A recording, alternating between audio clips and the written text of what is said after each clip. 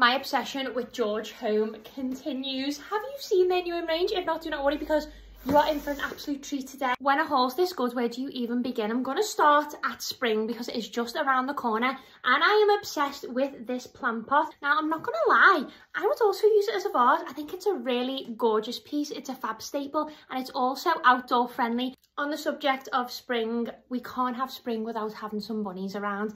And I love these tea light holders. How gorgeous are they? I also got these bunny candles, which I am yet to smell. So let's do the smell test. Oh my god, they're unreal. That smell like fresh bedding. And who doesn't love the smell of fresh bedding? I also got some fun pieces in this haul because life shouldn't be boring and neither should your homeware. it's a croissant! No, I know. So basically, George have brought out this gorgeous, like, Parisian style homeware aesthetic. And I seen him and I was like, you know, at the mint, anything with like a cushion with a face on is very popular right now.